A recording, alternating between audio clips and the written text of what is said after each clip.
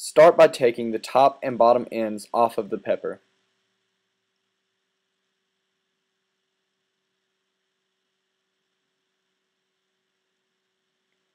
Now cut away the inside core of the pepper so you're left just with the outer skin.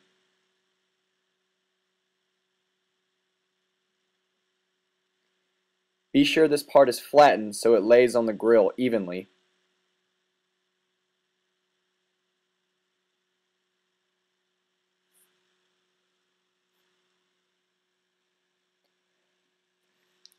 Now rub olive oil along the skin and then season with salt and pepper.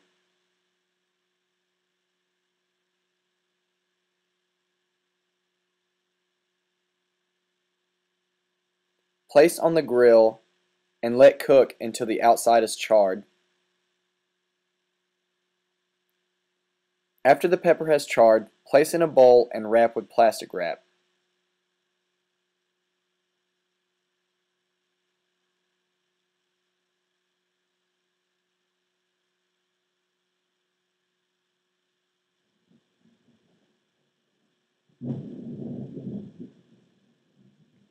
After the pepper has steamed for about 30 minutes to an hour, remove it from the bowl and clean off the charred skin.